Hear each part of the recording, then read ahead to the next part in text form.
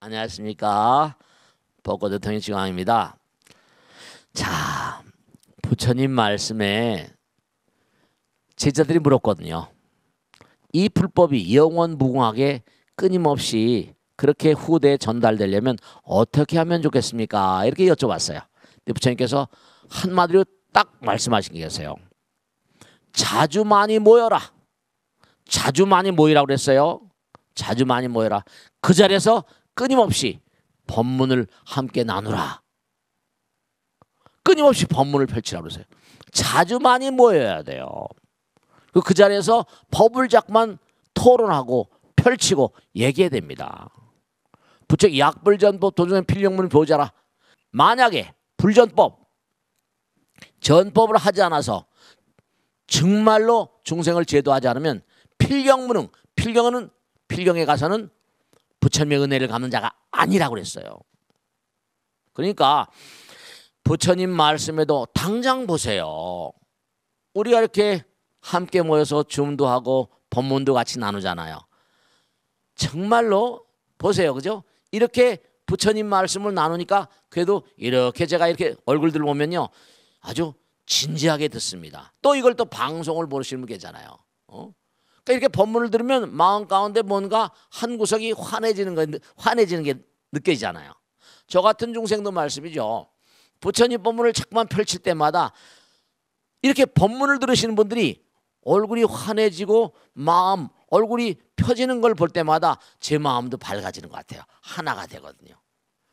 이 벚꽃 대통도 많이 보시고 또 많은 분들에게 또 전파하시고 그렇게 하도록 하시길 당부드립니다. 자주 많이 모여서 법을 학금상 토론해야 됩니다. 아시겠죠? 이러한 같은 점을 말씀드리면서 자 오늘 질문을 받겠습니다. 어떤 분이 질문하실까? 질문해 보세요. 네. 글자로서 응. 육바람일과 네. 팔정도를 실천하는 삶을 살려고 노력하고 있습니다. 네. 팔정도 중에서 어. 정견을 실천하는 방법은 어. 어떤 것이 있는지 스님의 의견을 듣고 싶습니다. 네, 좋은 질문이세요. 네, 정견, 정견, 정사, 정어, 정업, 정명, 정정진, 정명, 정정 이렇게 나오거든요. 팔정도. 제일 앞에 이 정견이 참 중요해요. 정견에 만든 사견이거든요. 세상에는 너무너무 삿된 제가 유튜브를 하면서 유튜브를 보면 아 이 친구 이것도 사기치네. 너무 삿된 정보가 가득해요. 아 이거 참 정말 그 조심해서 유튜브를 다루셔야 되는데 그냥 그냥 그 돈이 되니까 페라벨 이상한 삿된 그런 얘기를 많이 하거든요. 정견은 바로 뭐냐? 부처님께서 아주 딱 못 박으셨어요. 정견은 정법의 바탕을 둔 지견이라고 했어요. 정법은 부처님 법이거든요. 부처님 법, 깨달은 자의 법. 그러니까 왜 자꾸만 법문을 자꾸만 펼쳐야 되고 법문을 서로 얘기해야 되고 내가 법문을 공부해서 남에게 전파하지 않으면 안 되는가? 그 이유가 뭐냐면 내가 우선 공부를 해야 돼. 그래 부처님 공덕이 큰 겁니다. 중요한 건 부처님 법의 바탕을 둬야 돼요. 그래서 부처님 법을 공부하셔야 돼요. 그 또 하나 아주 중요한 게 뭐냐면 그 법을 설명하는데도 각도가 다 다르거든요. 이게 색깔도 빨주 노초 파남보 이런 게 있어요. 제가 하나 설명을 드리면 인생은 고통의 바다다 그랬어요. 부처님도 마찬가지예요. 그럼 고통의 바다에 빠져 죽으라 이런 얘기입니까? 아니에요. 고통 고통을 고통으로 한 자에게 내일의 문이 막힌다고 그랬거든요. 인생은 고통의 바다라고 못 합니까? 그럼 고통 고통 인생 고통의 바다니까 찡그리 울고 살아야 됩니까? 그게 아니라 고통을 바라보는 관점이 있습니다. 이우주에 내가 태권도를 배운다, 유도를 배운다, 피아노를 친다.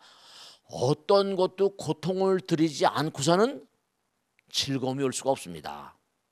내가 스카이를 간다, 내가 하버드 간다, 내가 고시 합격한다, 공무원 시험 합격한다, 부동산 중개사 시험을 합격한다.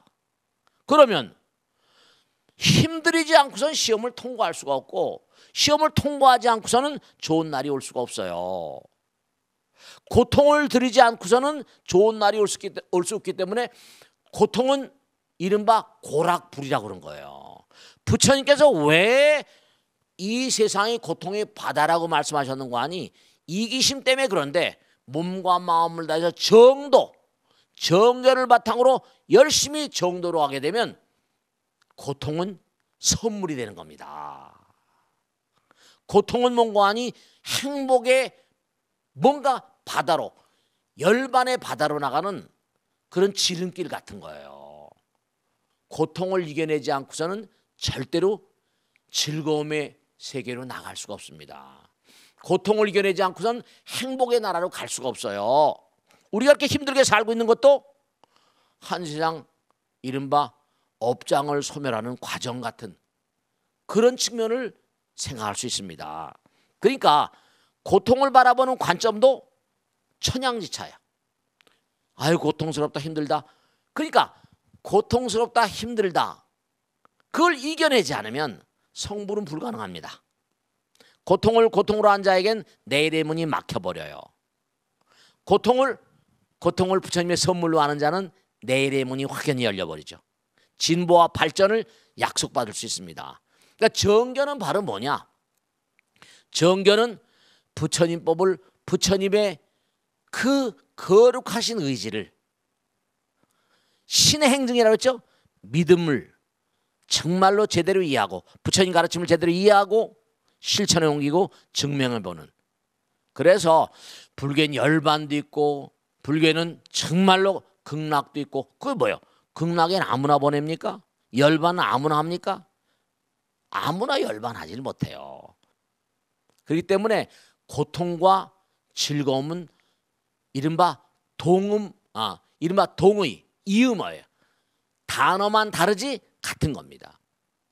그렇기 때문에 꼭 당부드리겠는데 고통스럽다 고통스럽다 하지 마세요. 나에게 고통이 닥쳐올 때 아 부처님께서 선물을 주시려고 나에게 이러한 뭐라 고통을 이겨내라고 하시는구나. 그렇게 생각하시면 그게 정견이에요. 음? 사견은 뭐냐? 아 정말 고통스러운 세상. 엄마 왜 나를 낳아서 이렇게 고통스럽게 이런 인간은 뭐라 바보 천치 같은 인간입니다. 엄마 아버지가 날 낳아줬으니까 내가 고통을 이겨내서 뭔가 의미로운 존재가 되도록 그 이 땅에 기회를 부여하신 것이다. 이렇게 생각하는 게 당연한 어떤 그런 의미죠. 정견은 바로 뭐냐? 사성제 팔정도 가운데 정법을 바탕을 둔 정법의 바탕을 둔 지견을 가지고 그런 견해를 가지고 열심히 인생을 살아가는 그런 사람들. 그래서 이제 일생을 뭐라고 그러냐? 도 닦는 거라고 합니다. 그 도는 무슨 도다? 정도다. 이렇게 이해를 하시면 정확한 이해가 될 거예요. 그래서 항상 소크라테스 테스 형님 그랬잖아요. 너 자신을 알라. 하늘은 스스로 놈잘 돕는 거예요. 고통을 이겨내는 자 하늘이 그를 돕습니다. 시너지 효과가 있어요. 정말 그렇습니다. 고통을 과감하게 맞닥뜨려서 이겨내 보세요. 그러면 그런 존재에겐 하늘의 도움이 있고 부처님의 거룩한 가피력 아시죠? 그죠? 영험이 작용합니다.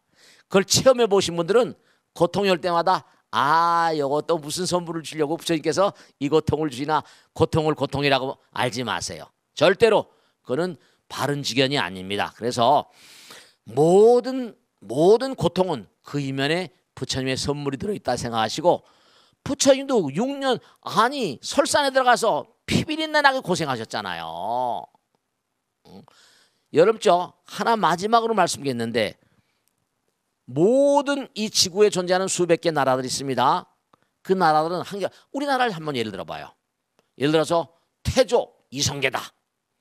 자기가 세운 나라가 있어요. 그러면 이 나라가 만대 그렇죠 자손 만대로 가고 싶을 거 아니에요. 그런데도 태조 이성계에서부터 시작해 태정 태세 문단세 딱 올라갑니다. 그러다가 어떤 절정에서 쓱 망해버리잖아요. 그 전에 있던 고려도 마찬가지고 고구려 신라 백제가 다 마찬가지입니다. 전 세계 어느 나라도 다 창업주들은 네 자기 나라가 천년 말년 가고 자손 만대 가고 싶을 거예요. 근데 어느 나라나 다 쓰러져 버리고 다른 나라 같습니다. 근데 희한한 게 있어요. 뭔가 지금이 말법 시대 말법 시대지만 부처님도 뭐냐 무량한 고통을 통해서 불교를 창립하셨잖아요. 그러니까 이 종교라고 하는 게 누가 뭐라고 하더라도 역사성을 가지고 계속 지금도 흘러가고 있잖아요. 그럼 나라의 창업주랑 뭐가 다를까? 부처님 당시에 제가 말씀이죠. 아시타라는 선인을 통해서 정반왕이 아이의 미래, 시딸딸의 미래를 알고 그 미래를 점치는 거죠. 그때 아시타가 뭐라 했어요? 이 아이가 왕궁에 있다면 전륜성왕이 될 것이요. 출가하면 뭐가 된다? 출가하면 아, 부처가 될 것이 아니다는 거 아닙니까? 그러니까 중요한 건 왕의 그런 세계를 떠나버리고 부처의 세계로 갔잖아요. 그러니까 중요한 건 계속 몸과 마음을 던져서 정결의 길을 가고 정도의 길을 가다 보면 영원의 어떤 세계를 체득하게 되세요. 자기 마음 가운데 있는 부처님을 체험하게 되신단 말이에요. 이 체험이 없는 종교는 가짜입니다. 유튜브에 보면은 전부 다 자기가 체험도 하지 않은 내용들을 전부 다 그냥 말씀도 좋지만 어, 그냥 손님 끌려고 하는 얘기 가득하더라고요. 음. 그래서 삿된 견해에 속지 마시고 부처님 정법을 끊임없이 연마하실 당들입니다. 자, 다음 질문 하겠습니다. 음, 다음 질문에서 누가 하실까? 네. 네, 투어의 고장인 멕시코의 세계 최대 투어장에서 투어 경기가 사라졌다고 합니다. 네네. 경기가 잔인하다는 시민들의 주장이 통한 건데요. 네네. 멕시코에서는 문화유산으로 받아들인 투어, 역사적으로는 소중한 가치가 있지만 어허. 지금 시대는 맞지 않다고 하면 어. 사라지는 게 맞는 걸까요? 네. 제가 머리. 부탁드립니다. 네. 멕시코는 그 마을마다 시마다 그 어, 투장했더라고요. 그게 참 사실 뭐냐면 멕시코를 여행하는 사람들은 꼭 투를 한 번씩 보고 싶어 하는 그런 그 어, 아주 완전히 멕시코 이 이른바 말하면 이 멕시코가 이렇게 투가 유명하게 된 데는 스페인에도 스페인 아시죠? 스페인 스페인도 그렇게 투가 유명해요. 근데 참 그게 제가 유럽을 돌 때도 그 투어하는 걸 보니까 좀 잔인하긴 하대요. 너무 막 소가 막 뛰고 뻘건 망돌 가지고 막 그 그리고 우리나라에 무슨 뭐 무슨 손흥민이 뭐 축구 선수 있지 않습니까? 멕시코나 스페인 쪽에서는 완전히 투에 그 아주 절묘하게 그냥 그 자기 생명을 걸고 하면서 어 하는 그 투사들이 완전 인기 절정이에요. 톱입니다. 뭐 연예 잡지니 뭐냐 완전히 그냥 막 어, 최고인데 문제는 뭐냐면 그게 이제 좀 잔인하다는 거죠. 어 그냥 오래오래 여, 열광하는 그런 그 투작에 들어온 사람들 보면요 정말로 축구장에 들어온 건 저리 가랍니다. 거기다 또 뭐냐 피를 흘리잖아요. 축구는 뛰면서 이- 뭐 어, 사람들이 어떤 그런 흥분의 절정으로 몰고 가는데 꼬링 했을 때 말이죠. 근데 이건 칼로 그 예리한 걸로 소를 찔러서 쓰러뜨려야지 피가 낭자하고 아 보는 사람들도 근데 그걸 좋아서 어쩔 줄 모르더라고요. 근데 중요한 건 뭐냐면 이제 그 아까도 말씀했지만 그 이제 어느 나라나 시민 활동 단체가 있잖아요, 그죠? 너무 잔인하다. 그래서 이제 그게 멕시코에서도 그걸 이제 뭐 이렇게 정말 어 절제해 나가는 그런 스타일이고 뭔가 없애가는 추세라고 합니다. 우리가 우리가 생각해 볼 일은 그때 우리가 그러잖아요. 그때는 그때고 지금은 사실 지금입니다. 전통도 좀 주- 중요하지만 음? 전통이 미풍양속의 경우엔 흘러가야 되지만 이게 뭐냐면 전통이라는 게 참 이거 생각하기야 그러니까 멕시코나 스페인 같은 데서도 굉장히 찬반 여론이 분분했다고 제가 압니다. 어, 찬반 여론이 그러니까 이거는 그 나라의 여론의 판단에 따를 수밖에 없어요. 우리나라도 만약에 그런 어떤 그런 상황이 있다면 여론을 보잖아요. 그러니까 이 멕시코 나라는 이 투를 찬, 찬성하느냐 반대하느냐에 따라서 당이 갈리는 거예요. 정부가 갈리는 거예요. 상당히 아주 심각한 문제였던 모양입니다. 그래서 이거는 전통의 흐름 같은 거를 누가 일방적으로 뭐가 옳다 뭐가 옳다 할 수 있는 게 아니죠. 역사적인 건데. 그러니까 그, 그 나라 국민의 뭐라 국민 투표를 할까요? 어떤 그 나라 정권의 흥망에 관계돼 있는 거거든요. 그래서 이런 점에 대해서는 뭐냐면 뭔가 뭔가 그 나라 국민의 어떤 그런 공통된 의견을 물어야 되고 이건 전통적인 정서 아닙니까? 좌지우지 누가 일 개인이 마음대로 할 수 있는 것이다. 그건 곤란한 거죠. 남미 쪽에선 멕시코 그런 바람에 멕시코 이쪽 남쪽 칠레라거나 뭐 전부 다 우루과이 전부 다 전부 다 그 어 이 투가 많이 성행하거든요. 그래서 어, 우리나라도 그런 것이 뭐가 있겠나 싶은데 뭐 그런 점들은 별로 없는 것 같은데 이렇게 이렇게 살상을 위주로 하는 음? 살상을 위주로 하는 근데 우리나라 사람들 보면 다른 건 모르겠는데 우리나라 그 남자나 여자나 양궁을 양 활을 잘 쏘잖아요. 근데 옛날에 활 쏘, 활을 쏘는 건 뭐죠? 그게 이제 어, 살상에 해당됐죠. 요즘에 근데 올림픽에 나와가지고 사람의 정신을 집중시키는 어떤 훈련을 통한 어떤 양궁 경기가 많이 나오기 때문에 어 이, 이른바 양궁도 옛날에 활로 만들었지만 이제는 뭐라 고급 플라스틱 같은 걸로 좋은 걸로 만드니까 올림픽 종목까지 됐으니까 그건 뭐라고 말할 수가 있는 게 아니죠, 그죠? 그래서 이런 점 같은 것들은 좀 더 많은 의견, 국민들의 여론을 통해서 판단해야 되지 않을까 그런 생각을 해봅니다. 아시겠죠? 자, 다음 주로 겠습니다. 다음 주로 겠습니다. 네. 매- 매일 매일 불평하지 않겠다, 화내지 않겠다 다짐을 해도요. 어?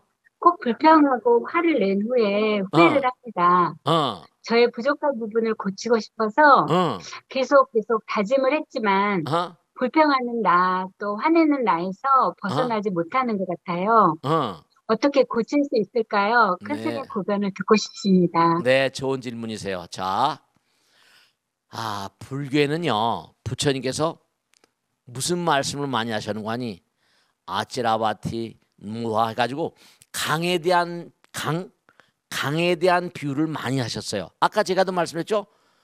우리의 삶은 끊임없이 흘러간다. 과거와 현재와 미래. 우리가 과거로 돌이킬 수 있어 없어요. 돌이키기가 어렵잖아요. 흘러갑니다. 우리가 과거로 돌이킬 수 없다 그러죠. 옛날 노래까지 뭐 과거는 흘러갔다 그러잖아요. 그러니까 흘러간 과거에 대해서 우리가 해줄 수 있는 거는 참회밖에 없어요. 그러니까 흘러간 과거에 대해서는 참회를 하는 것이고 앞으로 흘러가는 시, 시간에 대해서는 돌이킬 수가 없으니까 하지 말자 하지 말자 하는 건 지나간 건데 잘못한 거잖아요. 그죠? 하지 말자 하지 말자 하는 건 과거를 연상시키면서 하지 말자는 거거든요. 이렇게 하자 하자 내가 이렇게 하지 말자보다 하자 하자 흘러가는 거예요. 시간은 끊임없이 영원히 흘러갑니다. 뭐 세월은 흘러갑니다 이잖아요. 그죠? 그러니까 하지 말자 하지 말자보다 이렇게 하자 하자 흘러가는 스타일로 뇌는 신경생리학자들 따르면 뭐냐면 뇌는 과거로 거슬러 올라가는 걸 대체로 부정한답니다. 거슬러 올라가서 생각하는 것보다 미래지향적인 우리 끊임없이, 끊임없이 미래지향적인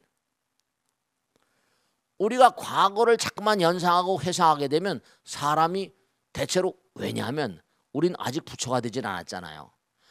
과거를 자꾸만 회상하는 거는 미래지향적인 삶이 아니에요. 뇌조차도 뇌조차도 과거지향적이 아니라 미래지향적이라는 겁니다. 그렇기 때문에 뭐라 과거의 기억이 자꾸만 사라지고 치매 증상이라거나 건망증 보세요 그죠? 우리가 건망증 같은 것도 왜 그래요? 이미 지나간 게 자꾸만 쓰러지는 현상이거든요.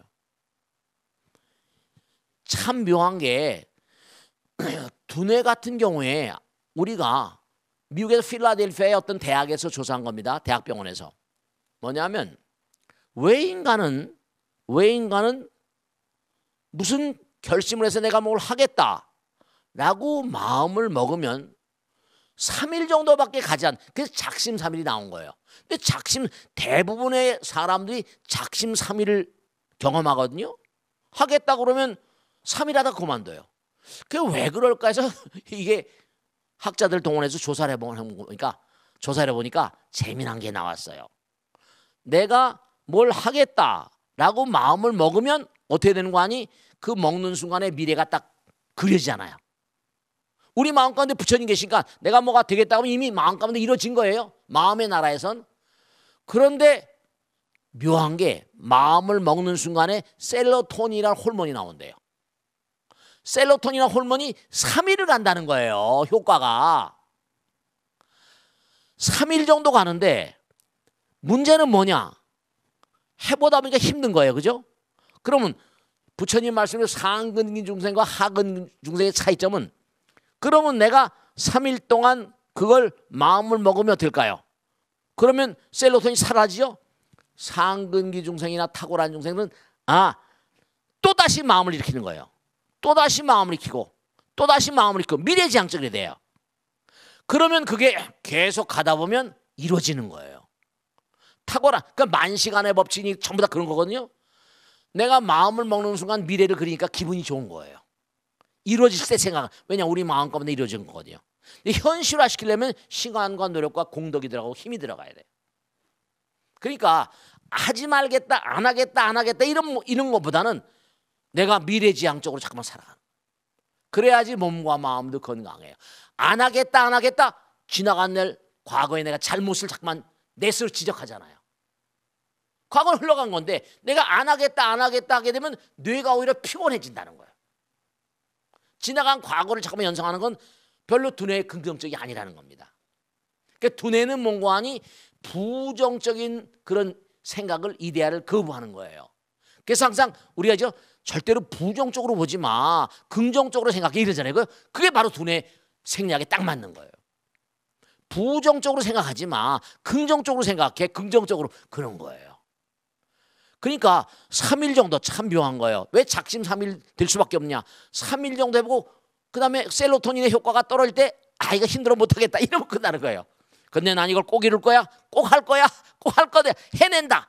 그러면 또 다시 셀로토닌이 나오고 또 밀고 나가는 거야. 그러니까 자꾸만 가다 보면 그러니까 저 같은 존재도 마찬가지예요. 선몽을 딱 받았는데 이게 분명히 뭐라 아 이게 선몽을 받고 이건 가짜 꿈이 아니고 믿으니까 설령 말이죠. 이거 딱 와서 다 했는데 이건 해야 돼. 꿈에 속아서는 안 되지만 분명히 뭐 된다고 확신하고 그래서 12년 만에 여기 집을 지었잖아요. 그러니까 몸과 마음을 다해서 진짜로 어 스키 타는 선수를 이거 재미난 게 있는데 스키 타는 선수를 보면 가다가 나무가 나면 나무에 붙어지면 죽잖아요. 그죠? 큰일 나잖아요. 그러니까 나무를 피한다는 생각보다 이른바 말하면 길을 잘 따라가겠다. 나는 스- 그 길을 잘 따라가겠다. 그런 생각을 하면 훨씬 스키 사고 안 난다는 거예요. 그렇기 때문에 중요한 거는 우리의 두뇌는 시스템 자체가 흘러가는 물 같아요. 과거 흘러간 건 우리가 과거에 대해서 해줄 건 뭐라? 참회밖에 없어요. 우리는 계속 미래지향적으로 살아야 돼. 성불의 길은 영원한 길이거든요. 뭐 하지 말자, 하지 말자, 하지 말자. 그거는 별로 두뇌 건강에 좋지도 않고 몸에도 별로 이익이 안 돼요.